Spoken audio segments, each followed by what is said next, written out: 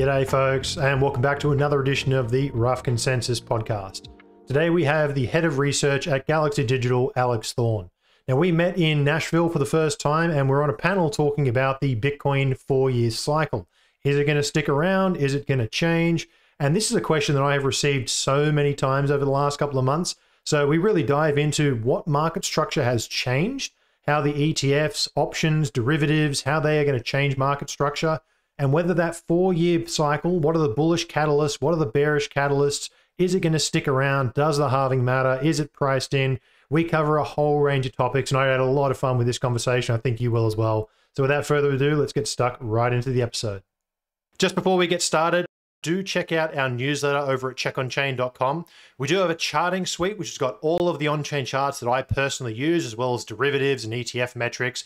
And over at the newsletter, we actually release two weekly updates and a masterclass every single week. Um, and we also have a, a Q&A that goes on once a month. So if you have any questions, you can always ask, and I will package those up and build it into a monthly Q&A. So do check us out over at checkonchain.com and enjoy the episode. Cheers. G'day, folks, and welcome back to another edition of the Rough Consensus podcast. And uh, today I've got Alex Thorn on from uh, Galaxy Research, mate. We met in Nashville. It's uh, it's good to get you on the pod. James Check, hello. Great to have met you a few months ago, and great to be here. Thanks for having yeah, me. Yeah, mate. I, I really uh, I really enjoyed your monologue you did the other day on the uh, Galaxy Brains uh, pod, which I, I'm I'm pro more Alex on the mic. I think it was a really really good episode, just giving like an assessment of where Bitcoin is, how the market's change, what the landscape looks like beyond Bitcoin as well. Um, what's your kind of general, if you were to like really give us the Cliff Notes view, what's your view on the the Bitcoin crypto landscape as it stands here and you know approaching the end of 2024?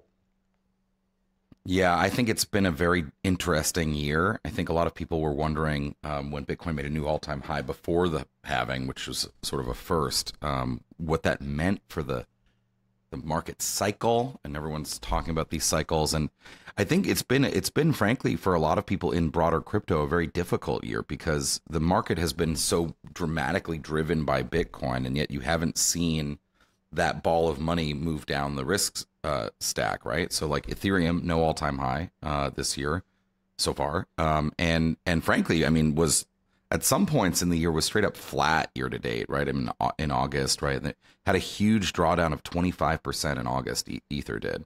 Uh, Bitcoin was down 10%, right? And I think if you look at the top, you know, coins, very very few of them have made an all-time high in 2024.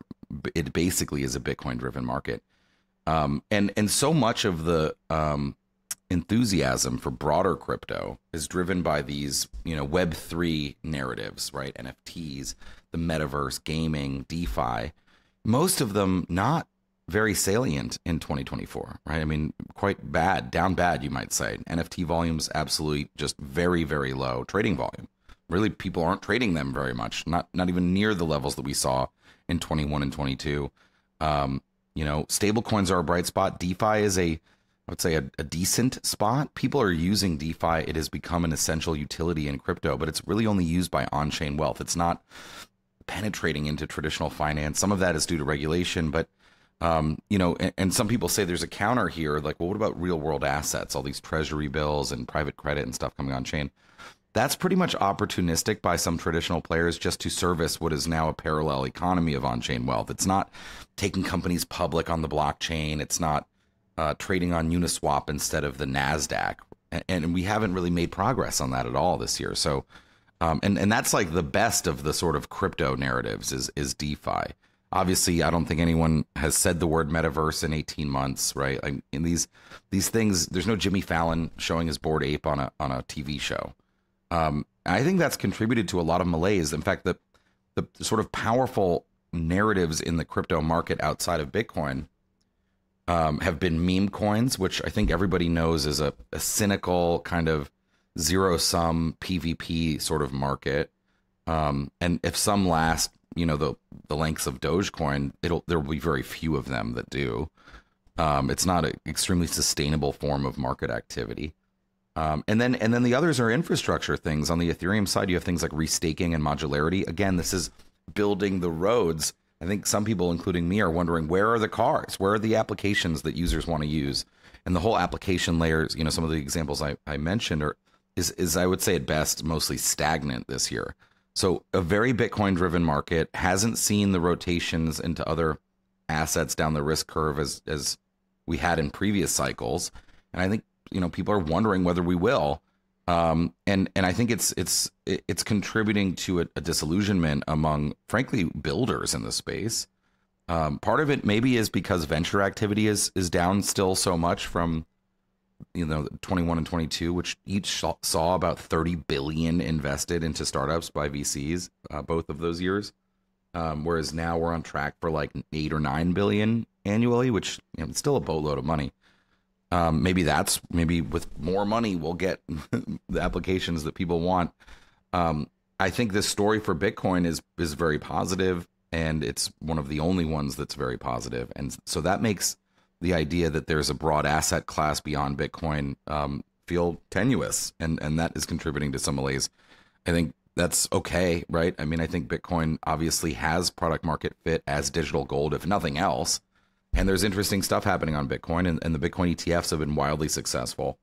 Um, something like 18 billion in net cumulative inflows since launch, versus minus 700 million from the ETH ones, and you know, they launched into a very difficult and tougher and different market. The Ethereum ETFs did, but nonetheless, I think that's a good that or like look at the ETH BTC ratio. I think these are just sort of good benchmarks for um, the market that we're in. And you know, Bitcoin and Ether and stables are seventy percent of the total market cap in crypto. So stablecoins, by the way, a bright spot, but not really a directional play, right? Not like from from an investment standpoint, um, it's not something that if they work correctly, right there, the number stays flat. It doesn't go up.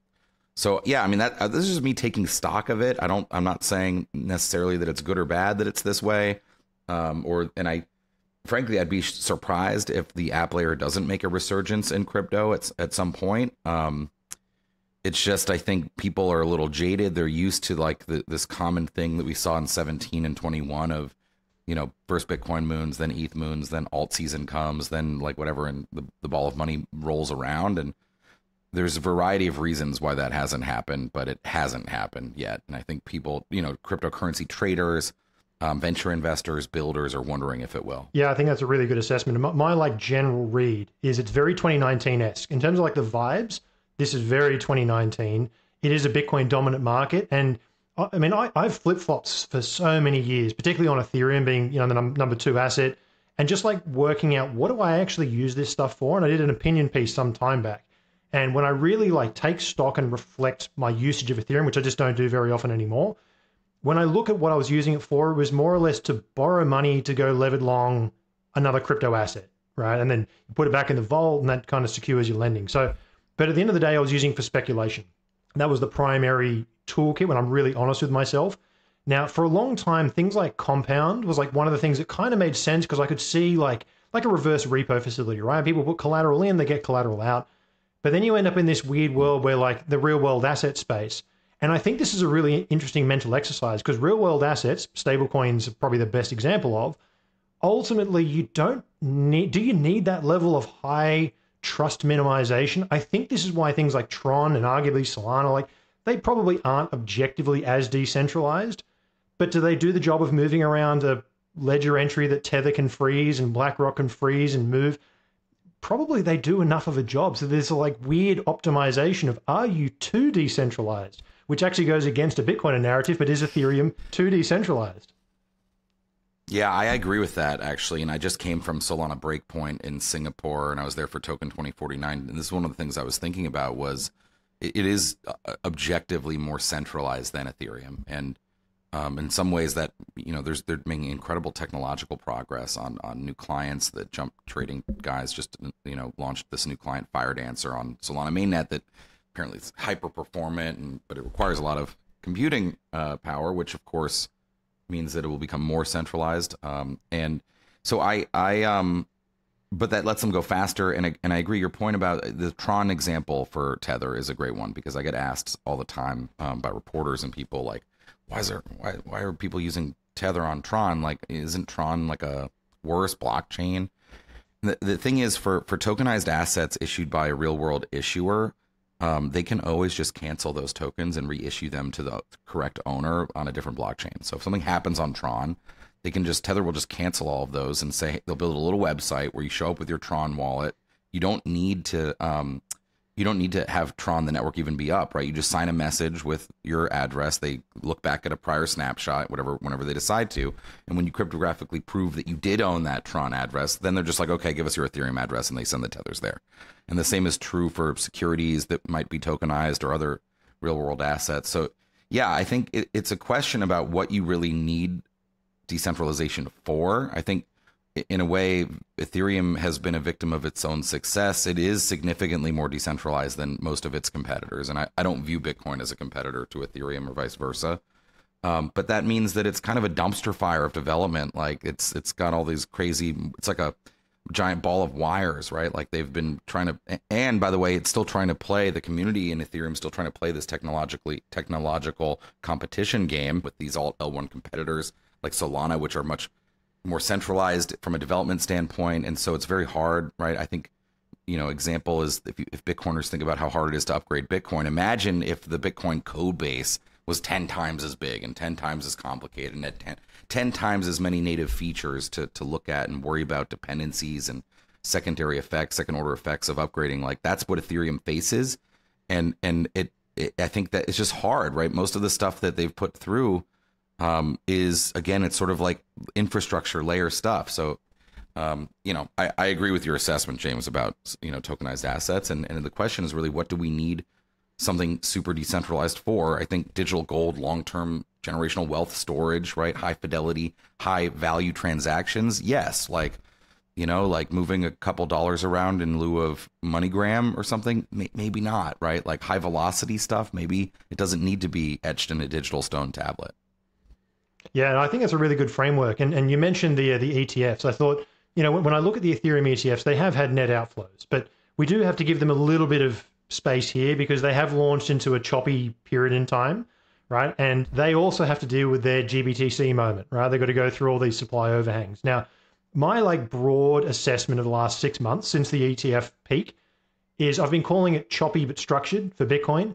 I've been quite surprised by the. I mean, we had a 32% drawdown only during the yen carry trade for all of four hours. For the most part, 25% is about as bad as it's been. If you look at any previous bull, 25% on the lower bound of how deep it goes. So I've been quite impressed with how much Bitcoin's held up. And one of the things that's been just enormous this last six months has been supply overhangs. We've seen Mount Gox, we've seen German government selling, we've seen the U.S. government selling it, and these are all back-to-back episodes, right? Yeah. Um, uh, GBTC. I mean, that that's been a whole. I know you guys and, and your team has covered a lot of that. What's your thoughts on this, like supply overhang? How Bitcoin's dealt with it? How Ethereum's dealt with it? What's that like general framework there for supply? Yeah, I mean, I think just to, to, echo your point on the Ethereum ETFs, it's not even just the chop market they launched into. Imagine, remember last fall in 23, the relentless multi-month drumbeat of anticipation for the Bitcoin ETF. In retrospect, oh, yes. I think we'll all look back on that as one of the greatest times in like Bitcoin markets with you know James Seyffart and Eric Balchunas. Like we're all like reading filings and looking for clues, and and we know it was worth refreshing Twitter. Exactly, it really was. Yeah, it wasn't just um you know fight videos and whatever you know awful election coverage we're all forced to look at now, but um that relentless drumbeat that then of course you know finalized with this explosive launch, the largest ETF launch in history. Like the Ethereum was, was not going to be able to compete with that. It might have the issuers were not prepared. I mean, really, I think most were caught off guard. So there just wasn't that marketing build up. I think from the supply overhang, great, great point, um, great question.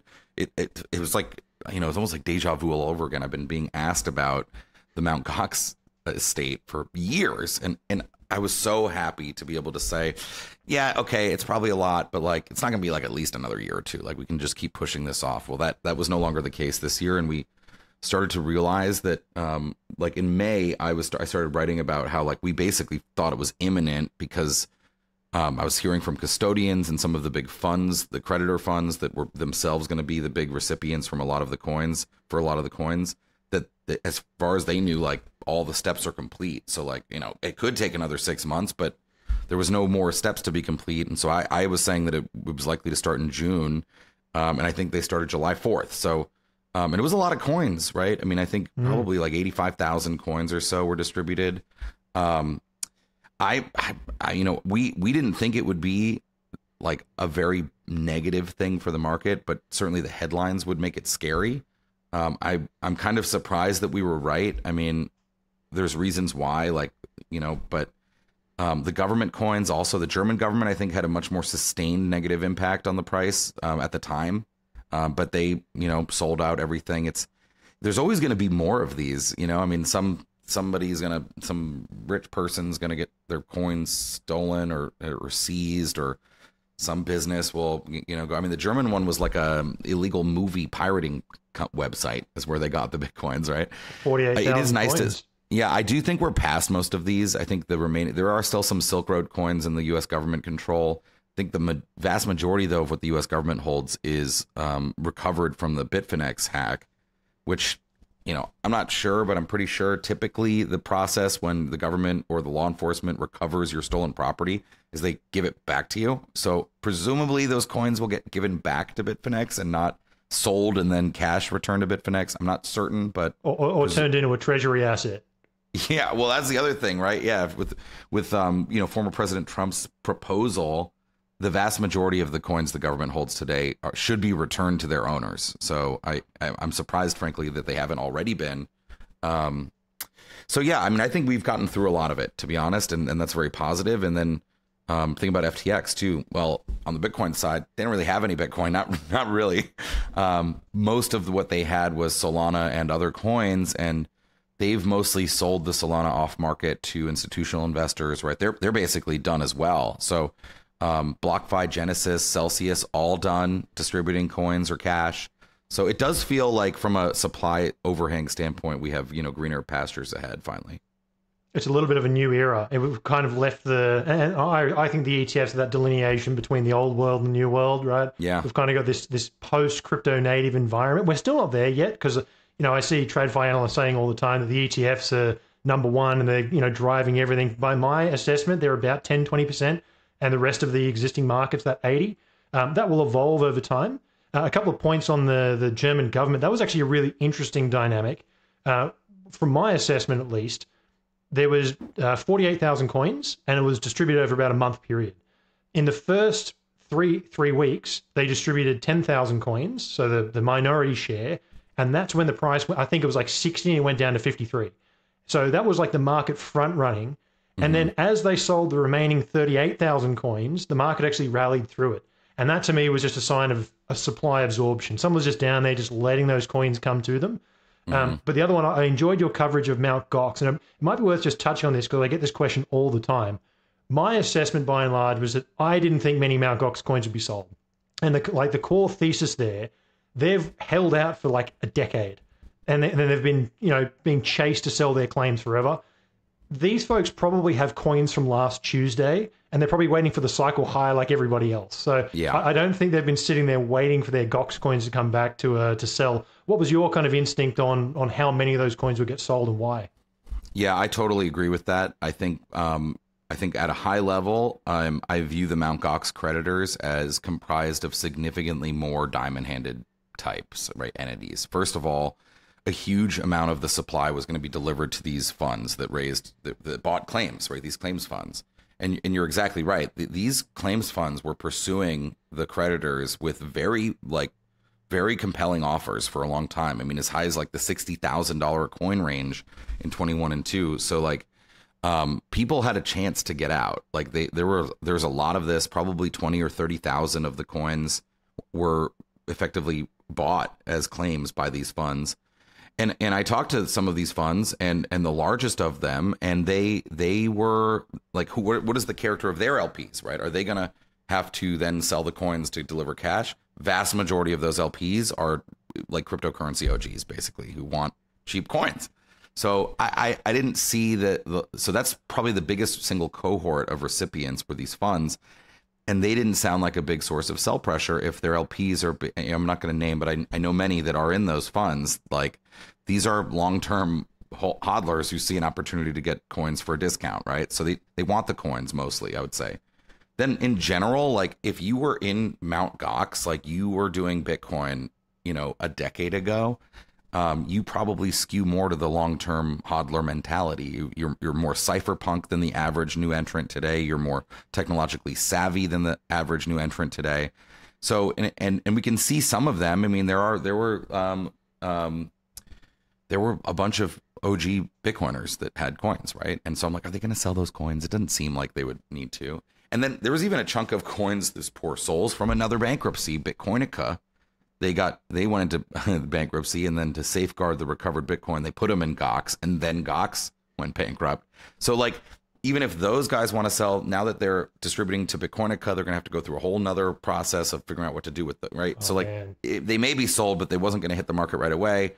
Um, and then there was a dynamic of like, well, actually, like to get paid out now, you you had to elect this early payout, which is just funny because it was still like ten years, took ten years, but and then take a small haircut. And we're like, probably most will do that. I mean, you really want to wait like another. Basically, the bankruptcy court and and estate had said to get potential instead of ninety percent or eighty five percent of your coins back, if you want hundred, you you might have to wait years more. And it's like so I don't know. I, I just think it, it was look, it was hard because Japanese bankruptcy is first of all written in Japanese, so a lot of the world doesn't speak Japanese. Second of all, uh, you know, a very arcane, like many bankruptcies, you know, complicated, strange process. I would say relatively unclear communication from the estate to the market. That all contributed to a lot of fear, but I mean, look, in the end, I mean, those coins have now it's they've they've been distributed now for well over a month. Like I think I think if you were gonna sell, you know, maybe there was like a, a, a 70k ish top created during Donald Trump's speech in Nashville, and like, you know, someone's got to be selling when the price, you know, when you hit resistance on the way up. So like, maybe it was some of them, but um, yeah, I'm just happy it's over. I hope we don't have many more of these. Yeah, the, the Bears keep finding more coins. This seems to be the uh, the meme moving forward.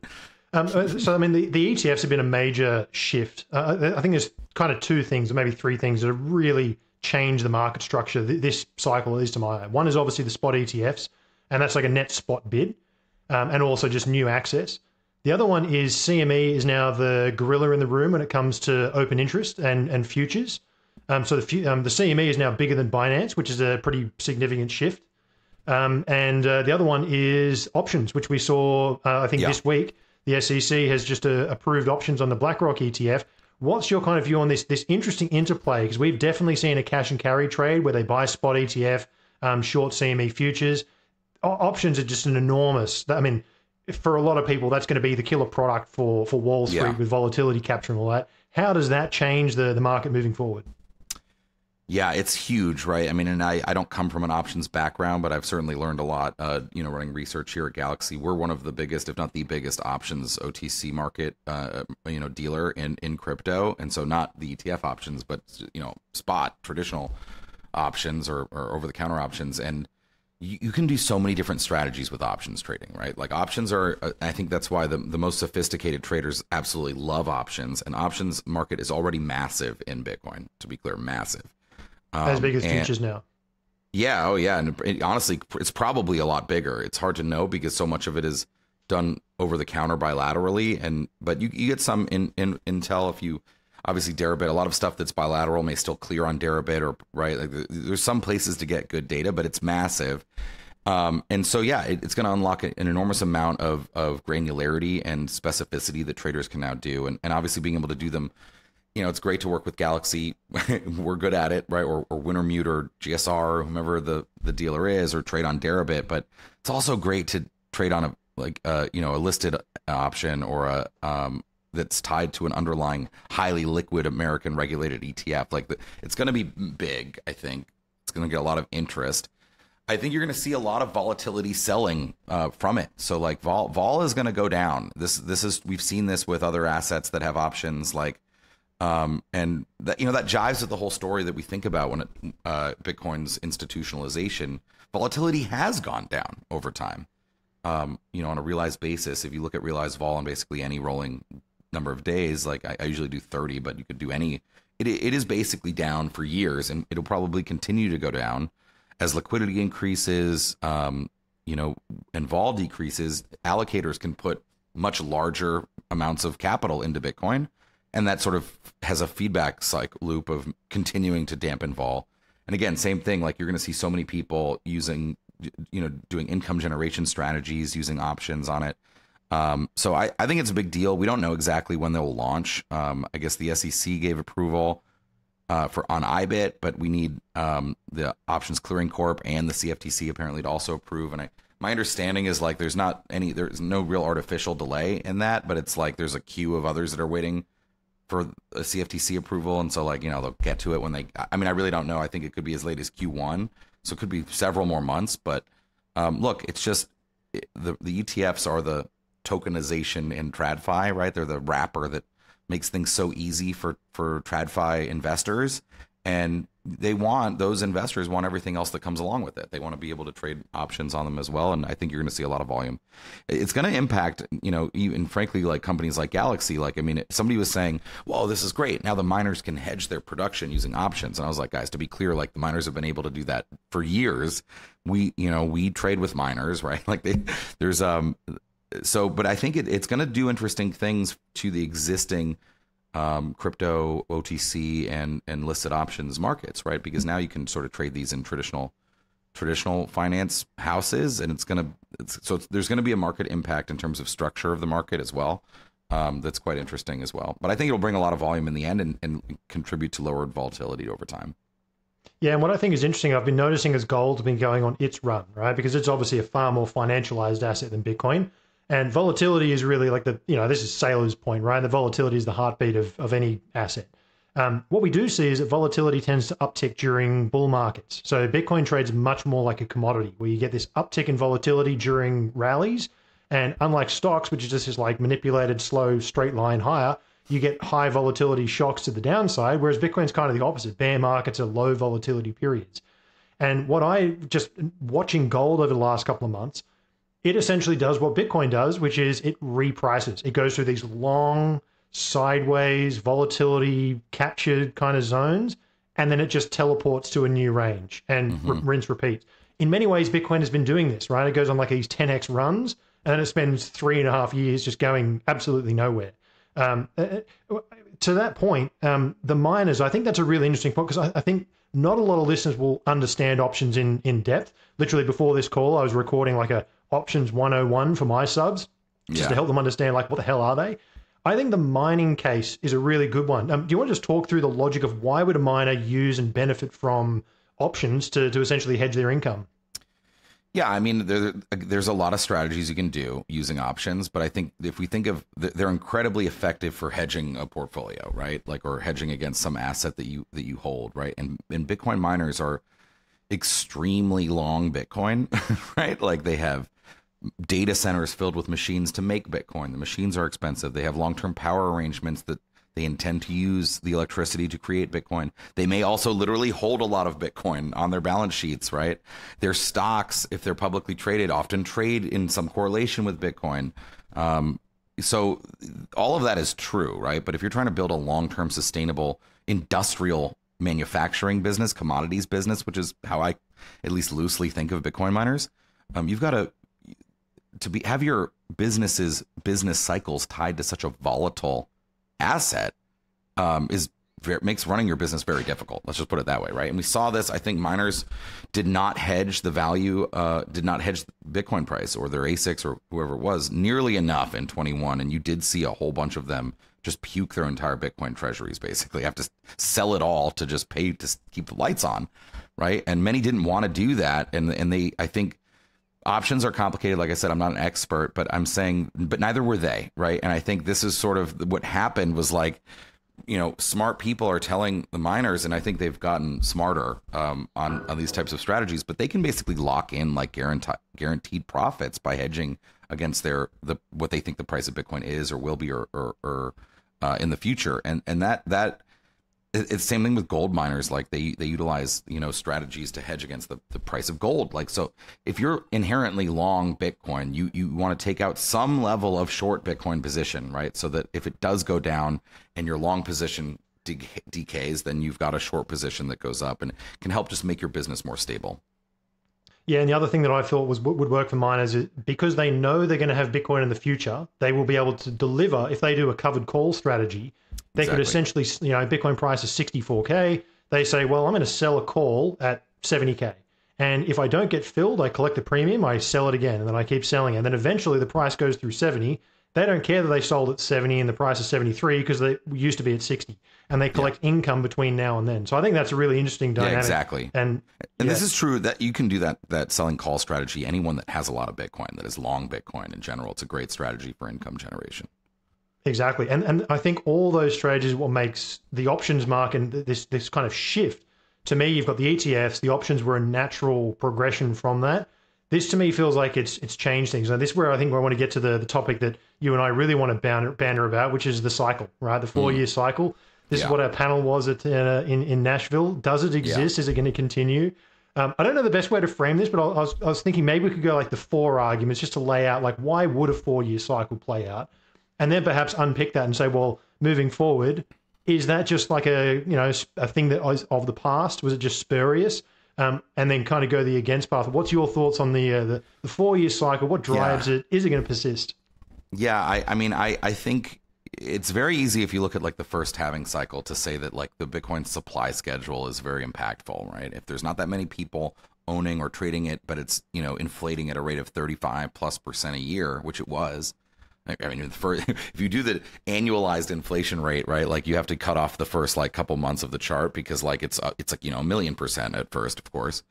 Um, so I mean, I think one reason that everybody obviously talks about this is the halving cycle is also four years, and that's why we say things like, "Oh, people were caught off guard by a new all-time high before the halving." It usually came after the halving. Okay, um, you know that that had been a supply, a significant supply event in the past, right? But of course, it halves every four years. So to me, like now, right, we were coming down to you know um, like 450 coins produced per day on average by the network from 900.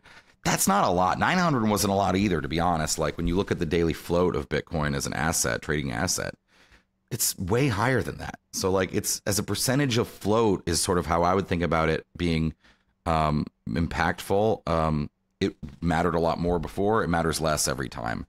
Um, so there's other things that I could throw out here that I'm I've never really looked, but people talk about the global liquidity cycle, the the growth or decline of balance sheets of central banks or of money supplies, right?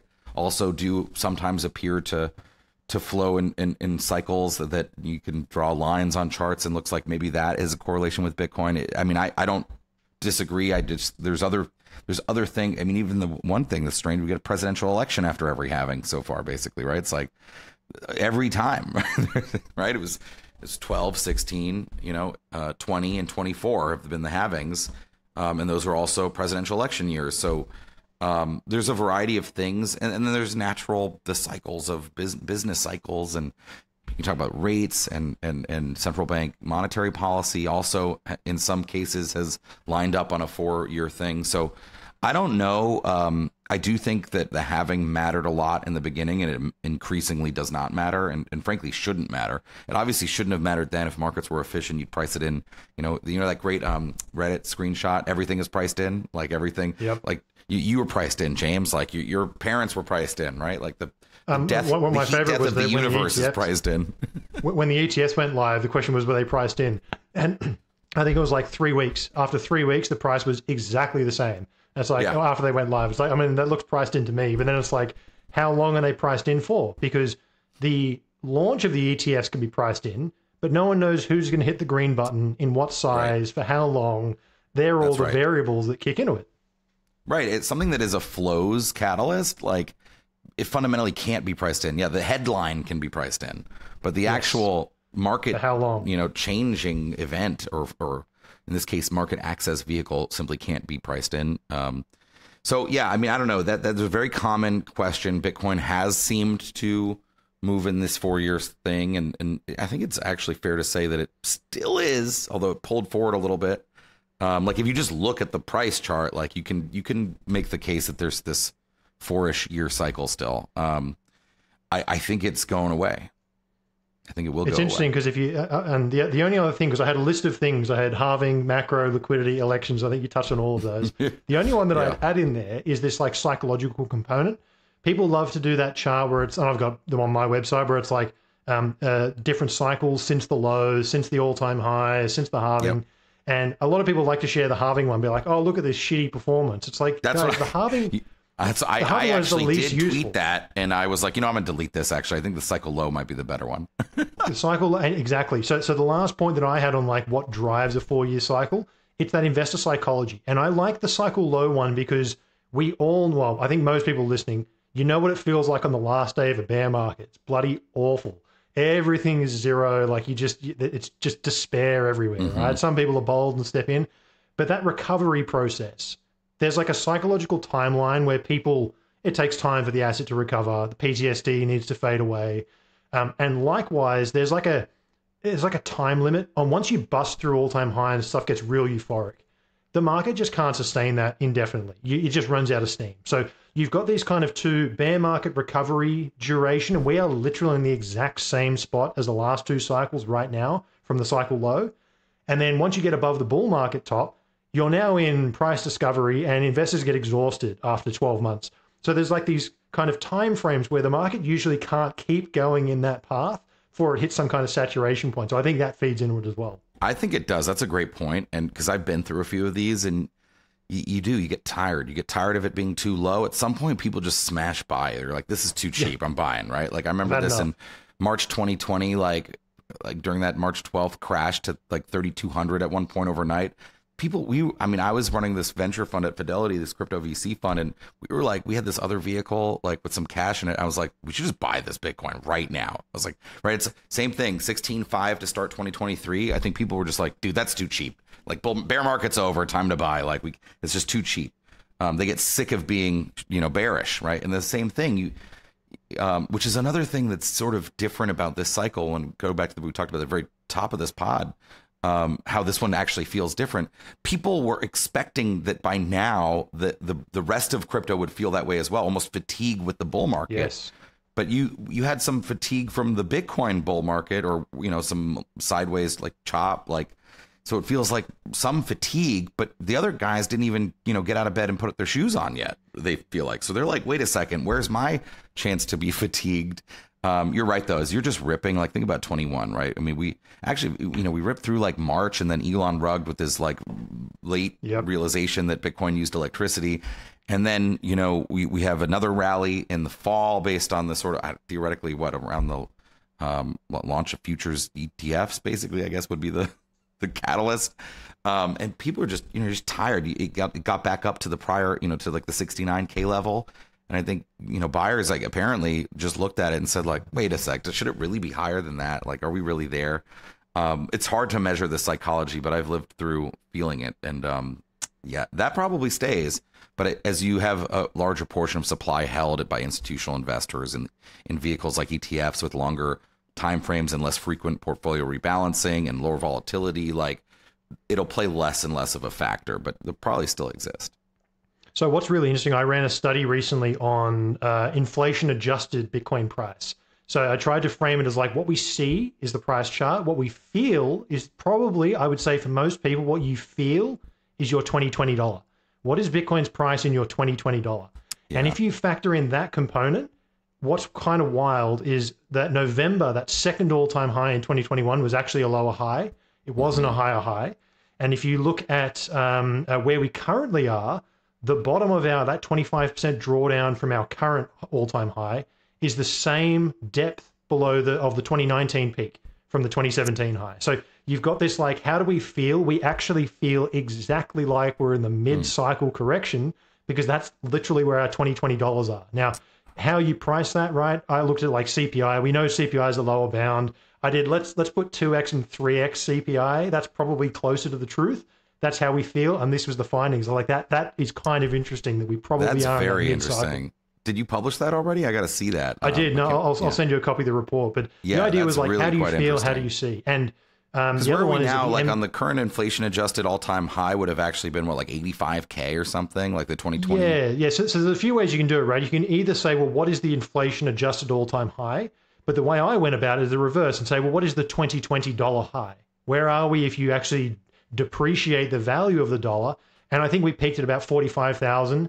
And um, if you look at it from an MVRV ratio, which is the unrealized profit or loss, we were mm-hmm. very close to break even. So, and wow. it, it, it probably felt about that, right? So, in terms of our purchasing power, we feel like we're at break even because we are.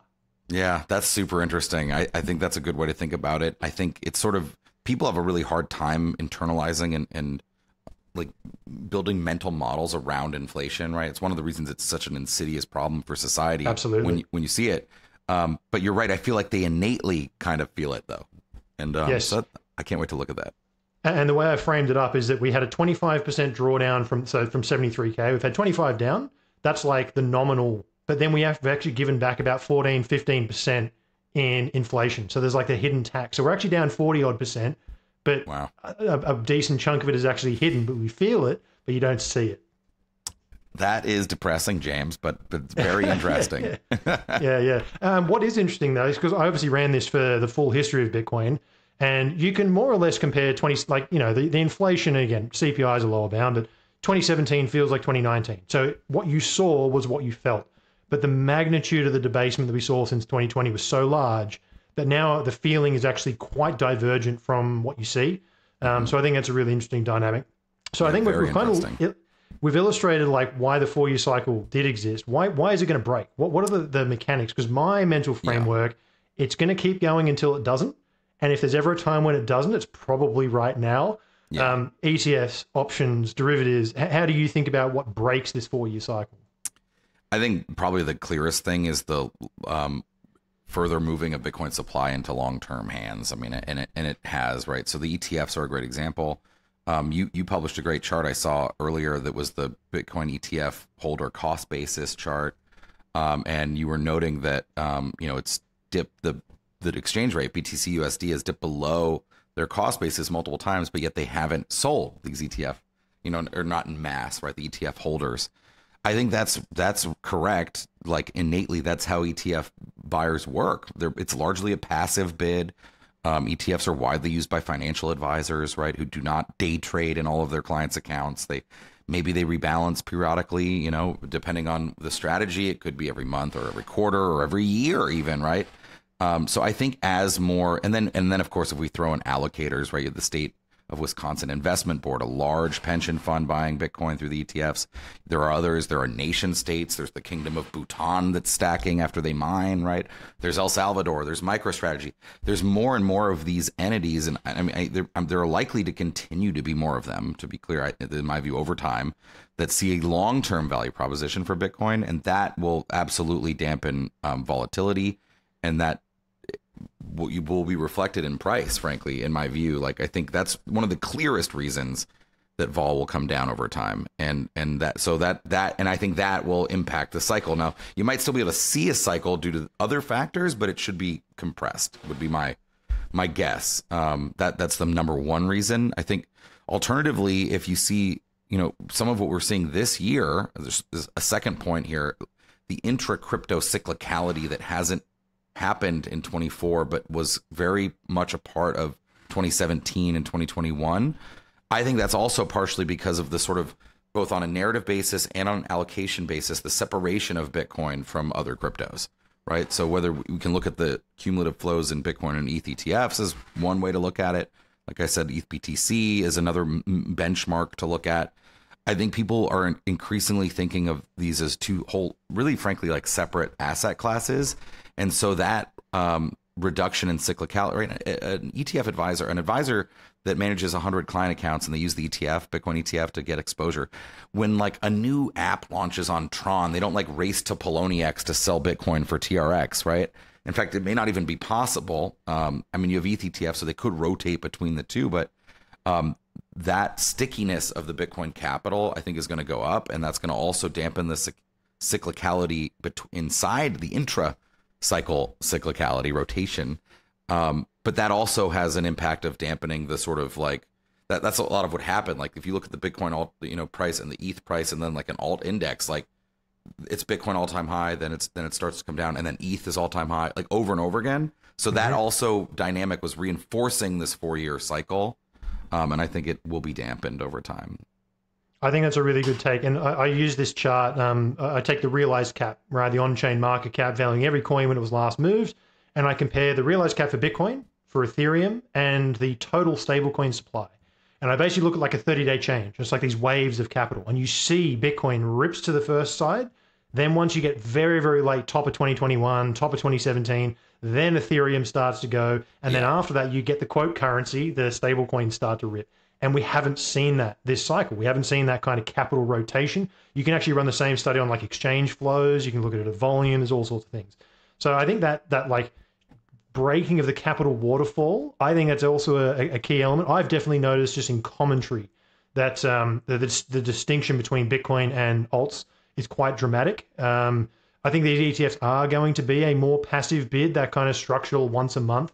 And if you think about like the people say, you know, if volatility comes down, that's that's super bad. But it's like, you know, if you look at any kind of asset over the long time, volatility comes down, but the price keeps going up because the currency doesn't get stronger, right, over time. Mm-hmm, mm-hmm. So the, the same trade is in play, but ultimately it's it's this kind of reaching that saturation point. And the bigger Bitcoin gets, the more big money can move into it, right? Yeah. If Bitcoin's a million dollar market cap, you can't move a billion dollars in it. But if it's 10 trillion, you can move a billion dollars without without trouble. So the size of it makes it actually more of a Veblen good for these big institutions. I think the Wisconsin pension fund was a was a major development because they're like 0.1% put a toe in and that's 180 million dollars.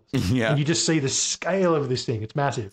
Yeah, I agree. And I love the Veblen good point. It's totally right. I think as Bitcoin becomes larger and more liquid and less volatile, you really will start to see people straight up be like, oh, the German Bund is doing what? Like sell Bitcoin, buy Bitcoin, right? It's already on the screens of most major yes. macro traders that I that I know.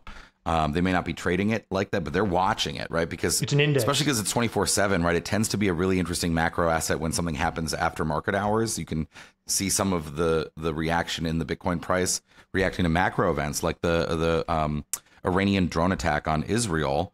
Uh, I was in um, uh, Bedford, UK, uh, when that happened at Pete Pete's conference, and nothing was open. It was Saturday. It happened on like a uh, Friday evening or Saturday night. I forget. Like it was, there was no markets open except for Bitcoin, and and it, and it showed a huge thing, and it, it crashed and then rallied back before markets really ended up opening in the states. But like the bigger it gets, the more it can be traded as a true macro asset. So like you should also see narratives like digital gold perform better as a narrative, I think, as it becomes more well capitalized.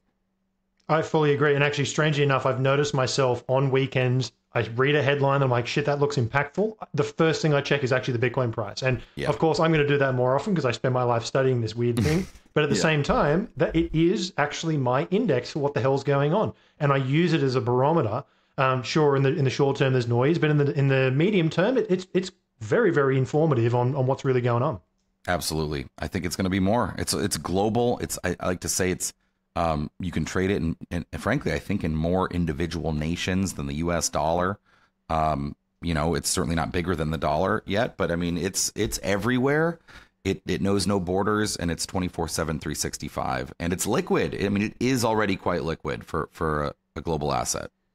Yes, and I think it can. I mean, really, if you think about what assets trade in pretty much every fiat currency, it's probably the U.S. dollar, gold, and Bitcoin, and that's not bad for 15 years of not having a CEO. Good. That's pretty pretty good. Yeah, it's working, man. It's working. It is working, um, and it's remarkable th- that it does. It, it, truly is. I mean, what I can't. The, the the Overton window has shifted so dramatically in in favor of Bitcoin in terms of like the the discussions that can be had. Like we're not really. I still get like, oh, but do people really use it? Well, I don't. I'm not buying my cup of coffee with it, so I get that all the time. Not, yeah, it must not work. I'm like, well, first of all, the president just bought a bunch of hamburgers, the former president at PubKey with it, but you know, let's okay. So it is possible to be clear but it, yeah, I mean, I, I don't, um, I do view it, um, primarily as a digital gold like, um, you know, asset. And for long term, it, now it's tradable and movable, but it's, you know, you're not buying AWS credits to run your tech company using gold, like, right? I mean, in fact, it's a good argument as an argument I used to make for Ethereum, although then they started trying to become ultrasound money. And I was like, you're kind of screwing with the narrative here, guys which was like you need shittier faster money. Like that's that's what powers things like entrepreneurship and innovation.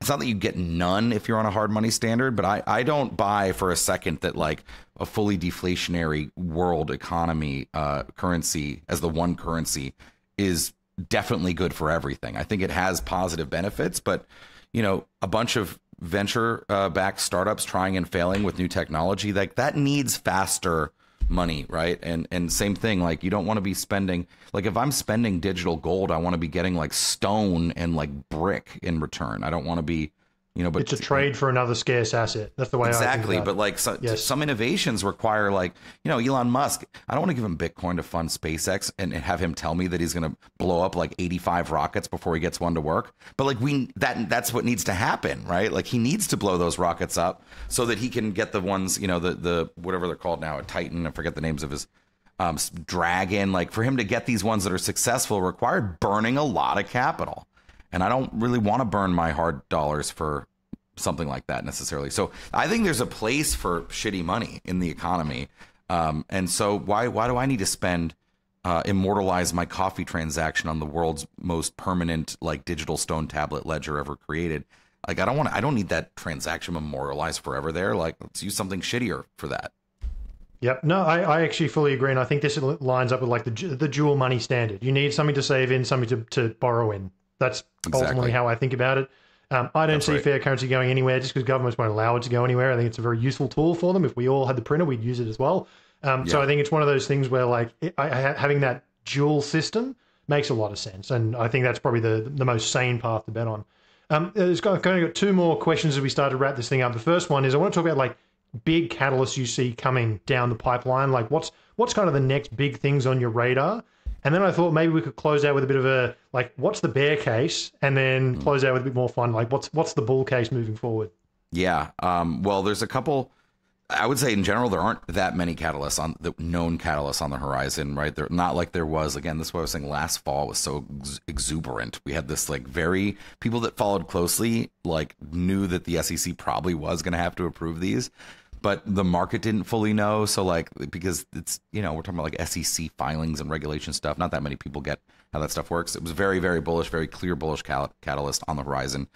Today, I think the number one thing to watch is the U.S. presidential election. I think um, uh, like a Kamala Harris victory is neutral. I would say I don't view it as catastrophic. I think I don't think that the government's the U.S. government's um, stance on Bitcoin and digital assets can really get much more negative than it has been under Biden. And, and it's been bad. There's been plenty of, you know, Operation Choke Point and, and in my view, like over overreach and jurisdictional overreach by the Securities and Exchange Commission. Um, but you know, I mean, we're here. I mean, we've we made all time we still highs all time high. 21 and in and in 24. I mean, at least not adjusted for inflation. Um, so like right, it didn't kill Bitcoin. It certainly did not. So it's not like the worst case. It's not like that bad, but I don't see a lot of evidence at the moment that Kamala Harris is um, materially different on crypto policy and in digital asset policy than Joe Biden. Some people disagree with me on this, but um, you know, she she just said something the other day on Sunday um, that she supports innovation in areas like AI and digital assets. I think that's something. It was either supports innovation or supports growth or whatever that's literally the bare minimum that you could say and like growth in digital assets. That could mean a lot of things. That could mean you and know was a caveat a, to it wasn't there? Like assuming it's investor protection. Well exactly. So th- that could mean well we got to protect investors from bitcoin but allow the growth in digital assets to happen in cbdcs for example. Like that would be truthful and with you know and in line with what she said. So she hasn't said enough. So I, you know, I think it's relatively likely that her presidency and her appointees, her economic advisors, her regulatory uh, commissioners would be similar to Biden and therefore, you know, neutral or, or um, a continuation of the status quo. Obviously, on the other side, Trump a Trump victory, I think, is a, a very clear catalyst. It's not just because of the words that he has said, but the people that are advising him. We know, like he he is surrounded by many individuals who are likely to take prominent roles in his administration who openly support Bitcoin and digital assets. So that I think that's a known. Whereas the people surrounding Kamala are like Bharat Ramamurti and Brian Nelson and Brian Deese, these people from the Biden administration who literally worked on Biden's anti-crypto policy. So like you just have to look at those two. Um, so that's one. I, I do have another one, but I don't know if you you were you know. Also, I always wonder this. I'm actually in Hong Kong right now, and when I talk about this big you know American election catalyst. I feel a little imperialist. Like, it should is it really that? And like, should does it? You know, like, what, what's your take on? Is that ha- you know, as someone who's not in the states? I mean, what's your take on the U.S. election impacting? Crypto? Yes. so, so so my take is I recently muted the words Kamala, Trump, and President from my Twitter feed. Um, unfortunately, it, it, improved it, but it just filled it with all sorts of other nonsense. Um, so it, look, I, I, think there is probably. I mean, I was in Nashville, right? So I um, my my big picture takeaway from the Trump speech. is First and foremost, it was 85% a rally that he would give to any anywhere else. So I agree that the main storyline, in my opinion, was the advisors who sit behind him. The fact that Cynthia Lummis came out afterwards with a piece of paper, and again, that's that's a piece of paper. It's not signed in. That's got to go through that whole process. But the takeaway for me, at the end of the day, Bitcoin is being talked about at the same level as the gold sitting in, or maybe not sitting in Fort Knox. That's yeah. ultimately how I look at it. It's like that's not bad for 15 years with no CEO. And I just look at that kind of broad scale of things. Look, in terms of what the election does, I, I, I would agree with your assessment. I think there probably is going to be a, a no change if if if Kamala gets in. Um, probably more so, just a just a more pro um, approach. I think there's also going to be the whole economic impacts, like ha- what happens in terms of the economy with these two different. Because the big difference is these aren't like slightly different policies. If we look at Australian politics, it's the same guy, just different shirt, right? If you look at the US, you are talking about two polar different approaches yeah. to the whole system. So I think, which is rare, by the way, even for the US. This is like a Trump kind of uh, phenomenon, to be honest. Like I'm, I'm a little bit cynical about um, the two major parties in the U.S. This is the, the the last few elections with Donald Trump. He's one of the few true like. It's crazy to say this, but I, I view him as an outsider. It's very rare, right? I mean, you know, you get two uh, mainstream U.S. senators and in like Barack Obama versus Mitt Romney, right, or John McCain. Like, you know, it's neither of them fundamentally different on foreign policy, right, or on like broad economic policy. Trump, Trump, Harris is a pretty stark contrast in my view, yeah, and certainly no, on crypto. I definitely think that's going to be. I'm looking forward to the election being over. So if you Americans can go and just pick someone, please, that'll be good. Because uh, I think that the world can kind of move on. Because I think there's a lot of things on hold, right? I'm, I'm yeah. sure there's some geopolitical things on hold. I'm sure the mm-hmm. world waiting for that to, because that's volatile no matter where you are. Yeah. Um, all right, so just to, to, to, wrap things up, what's your what's yeah. your bear case for Bitcoin? Oh, what does it, what does it look like a real negative? First, that I, I, do want to raise one more catalyst because oh, yeah, it's kind of the overhang. The FTX estate. So they've already raised a bunch ah. of cash. They're going to deliver, I think, fifteen billion dollars of cash. They said to their creditor base. Um, there are claims funds in there too, but I mean, it's it is a creditor creditor base largely comprised of crypto native investors. Um, so I think you you will see coins pump when the when that cash is distributed because some people will buy cryptos with it, right? It's a fairly large pile of money actually, um, that, and we haven't really had one of these like it's like a cash overhang instead of a coin overhang, and yes, I think people will buy crypto with that. All right, but sorry, go go ahead. I just want to throw that one. No, in and sorry, I don't know when that is. That, by actually. the way, I think it's probably like end of the year or Q1. I forget what the estate has guided, but it's it's public. You can Google. Yeah, and I, I, just want to get it on the record because so many people talk about this Bank of America 118x multiplier thing. So let's say you get 15 billion, right? Uh, maybe three, four, five billion of that probably makes it into to, to the bid side. So many people will look and they go, oh, look, that's 100x. Like market cap's going to moon by, you know, 500 billion. That's not how these things work. No. Um, I, I've done a study and it's, it's, I've never seen the multiplier. And you look at like the realized cap change, and there's all sorts of ways you can measure it. The multiplier is never more than eight it's been eight for a very very brief second, but it's closer to three to five.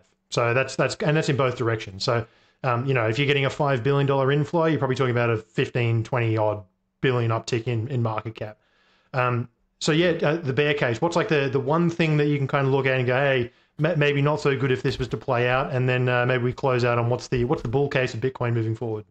Yeah, I think the some of the most bearish things, like policy wise, are attempts to regulate uh, Bitcoin or cryptocurrency developers, miners, nodes as financial institutions. So Elizabeth Warren's proposal in the U.S., the Digital Asset Anti-Money Laundering Act, we, we we have this thing called the Bank Secrecy Act in the U.S. that mandates that financial institutions know their customers and stuff.